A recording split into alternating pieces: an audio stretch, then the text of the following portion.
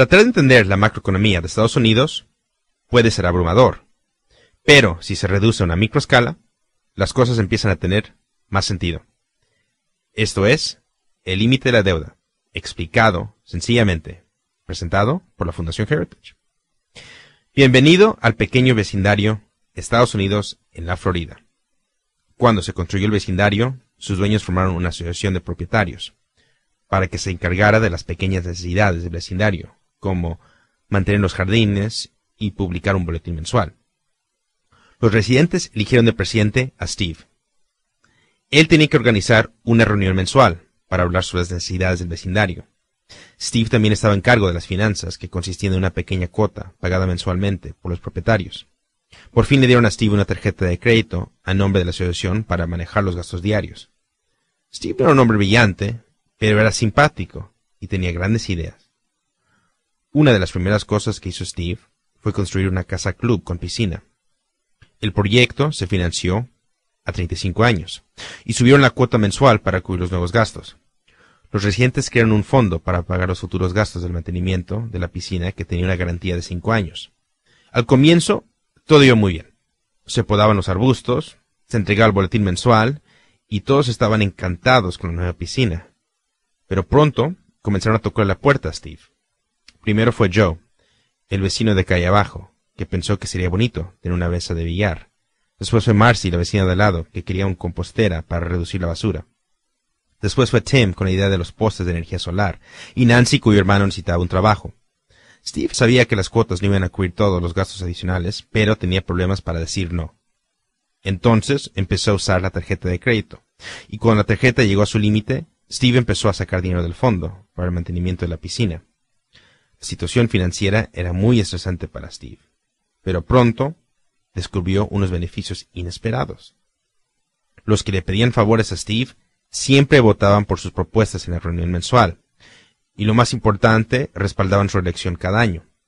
Eso estaba saliendo mejor de lo que Steve esperaba. Solo que ya no había más dinero. Era posible aumentar el límite de la tarjeta de crédito, pero los reglamentos exigían una votación. Discretamente, Steve combinó el aumento del límite de la tarjeta con otra medida puesta a votación. Y claro, la medida se aprobó. Era una solución tan simple para su problema que lo hizo una vez y otra y otra. Cada vez que aumentaba el crédito de la tarjeta, Steve metía a los propietarios en más deuda y el gasto de los intereses iba creciendo.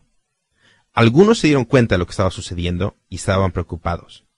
Ellos sabían que finalmente les pasarían la cuenta y que las cuotas mensuales subirían, haciendo más difícil para vender sus casas. Otros propietarios como Joe sabían lo que estaba pasando, pero no les importaba. La mayoría de la gente estaba muy ocupada y no veía la tormenta financiera que se les venía encima. ¿Les suena esta historia? Pues debería, porque eso nos está sucediendo a todos. Como ciudadanos de Estados Unidos vivimos en una comunidad gobernada democráticamente. Hemos elegido a unos líderes que están encargados de administrar nuestros asuntos y finanzas, y pagamos impuestos para cubrir nuestros gastos. Como país hemos votado a favor de enormes proyectos y estamos tratando de ahorrar dinero para pagarlos. Pero, como Steve, nuestros líderes siguen gastando, acumulan favores e hipotecan nuestro futuro. Y en 1917, la segunda ley de bonos de la libertad impuso un límite a la deuda que el gobierno puede tener. Pero con los años, este techo de deuda se ha subido una y otra vez. Bueno, 73 veces, para ser más exactos. Con cada incremento, nuestros líderes nos hunden un poco más en deuda, y el costo de los intereses aumenta. Muy pronto el Congreso intentará subir el límite otra vez. Esa subida estará escondida dentro de una medida más urgente, con palabras como recuperación, reinversión, vital, imperativa y en el interés nacional. Pero usted y yo sabemos que eso no es así. Bueno, regresemos a nuestro vecindario para ver cómo termina su historia. Los propietarios que se dieron cuenta del problema dijeron, Basta ya. Y llamaron a sus vecinos para explicarles lo que le estaba sucediendo. Cuando la gente entendió el problema, la solución era evidente. En la siguiente reunión mensual, los propietarios votaron en masa por un nuevo presidente.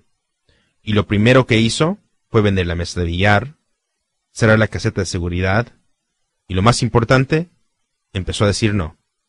Los dueños del vecindario todavía no han salido sus deudas, pero han vuelto por el buen camino. ¿Y cómo terminará su historia? Para aprender más sobre la deuda, visite libertad.org.